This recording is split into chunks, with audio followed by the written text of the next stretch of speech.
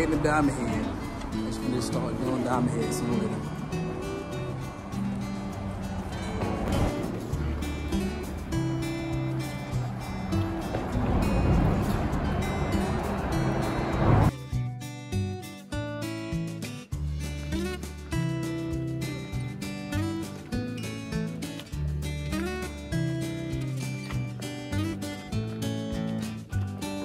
Still walking the trail of Diamond Head.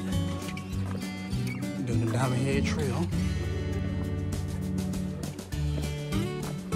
Still ascending on Diamond Head. So pads no good for strollers or any type of wheeled item. But it is a lot of rocks. So it makes it not slippery. That's a plus. And the views are really cool.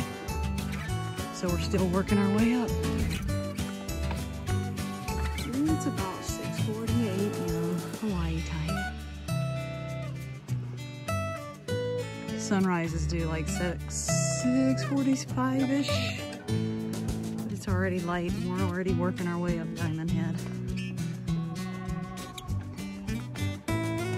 It's a beautiful day. Again, weather is great. The hike is nice. Let's keep going. A cage and dam here. Small little cage.